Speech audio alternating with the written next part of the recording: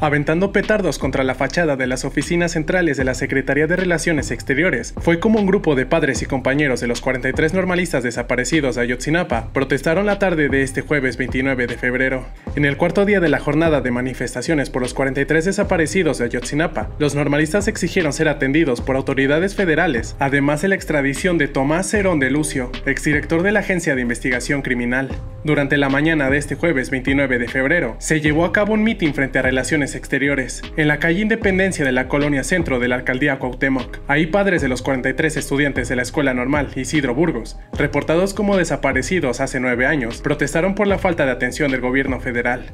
Los manifestantes se cubrieron el rostro y comenzaron a lanzar proyectiles a las puertas, donde se escucharon 15 detonaciones quebrando ventanas y puertas de cristal. Al término de la protesta volvieron a abordar los autobuses rumbo al plantón instalado frente a Palacio Nacional. El lugar fue asegurado por elementos de protección federal, quienes comenzaron a retirar los escombros.